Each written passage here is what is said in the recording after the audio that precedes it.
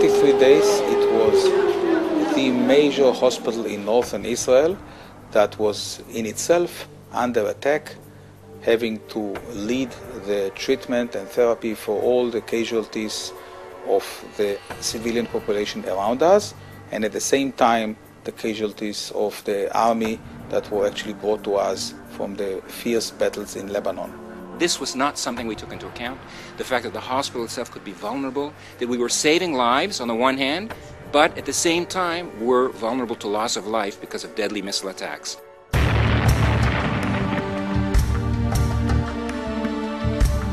Every time we had an alarm and there was a missile phone in Haifa, there was this time of about 30 seconds to call your family, know that everybody is okay before you rush to fulfill the next function. That means rush, run to the emergency room, see the patients uh, are getting the right treatment.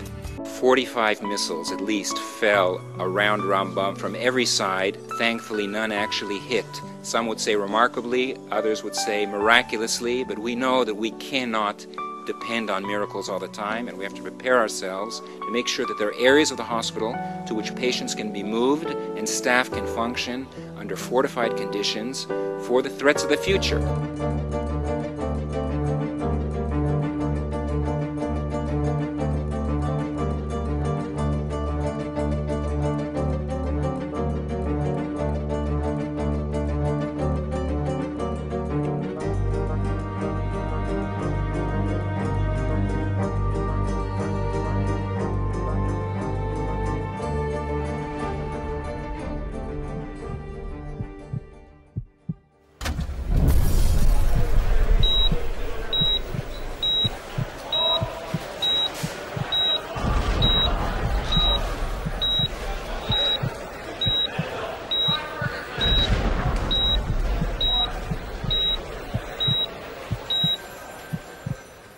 Today, after six years of hard work, we have almost finished this project, which will enable us to care for sick and wounded citizens and soldiers even while under rocket attack for both conventional and non-conventional warheads.